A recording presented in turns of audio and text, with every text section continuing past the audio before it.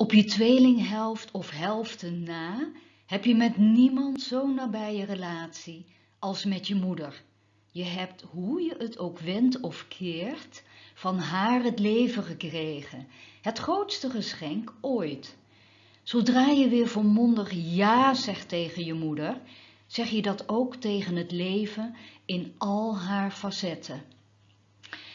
Vooral van AT'ers hoor ik vaak dat ze een moeizame relatie hebben met hun moeder en meteen ook een moeizame relatie hebben met bijvoorbeeld geld, met relaties, met ja, eigenlijk ieder levensgebied.